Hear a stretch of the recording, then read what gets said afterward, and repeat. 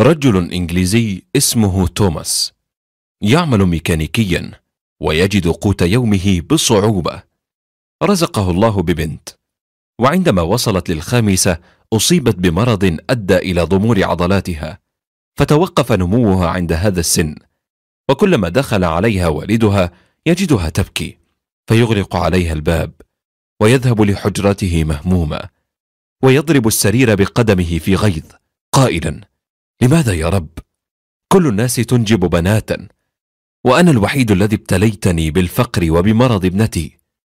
وفي أحد الأيام ذهب لعمله واشتكى حاله لصديق له فقال له صديقه لقد تأثرت بأحد أصدقاء المسلمين وكان دوما يحتضن أبناءه ويقبلهم وعندما كنت أنظر إليه بدهشة كان يقول لي إن ما أفعله كان يفعله نبينا الكريم مع أبنائه فكان إذا دخلت عليه ابنته فاطمة رحب بها وقبل يدها وأجلسها في مجلسه كما أن هذا النبي العظيم كان يرتكز على أربعة أطراف ويقلد الحصان ليجلس على ظهره أحفاده الحسن والحسين ويدللهما.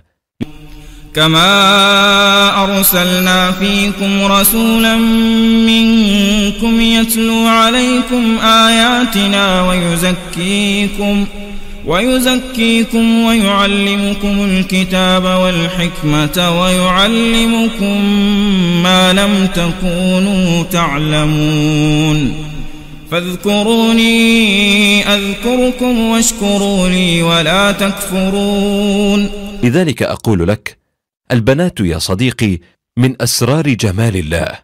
فاستمتع بقربها ولسوف يريك الله جمال وجودها ذات يوم. عاد توماس لبيته ودخل على ابنته المقعدة. فنظرت إليه وبكت كعادتها.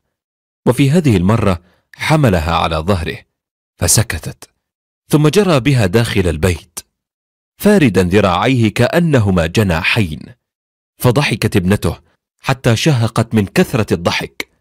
في هذا اليوم شعر الأب بالسعادة لأول مرة في حياته ومن شدة سعادته حمل ابنته وجرى بها في الشارع كالمجنون.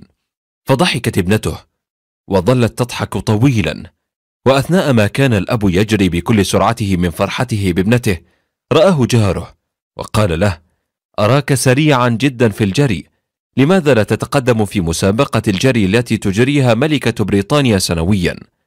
وبالفعل تقدم توماس للمسابقة ومع بدايتها ذهب للمسابقة حاملا ابنته على كتفه ووصل للمركز الثالث ولكنه خطف الأنظار نحوه بسبب ابنته وانصرفت أبصار الناس عن صاحب المركز الأول وتحدثت الصحف عن توماس وابنته. وفي العام التالي تقدم توماس لنفس المسابقة وحمل ابنته أيضا وجرى بها وأخذ يسابق ويقاوم حتى حاز على المركز الأول وفاز بتسعة ملايين دولار عن المسابقة. وأيضا جائزة الأب المثالي ليصبح من أغنى أغنياء بريطانيا. وقد أصبح بعد ذلك صاحب شركة ووضع على برواز فوق مكتبه مقولة صاحبه البنات يا صديقي من أسرار جمال الله فاستمتع بقربها ولسوف يريك الله جمال وجودها ذات يوم.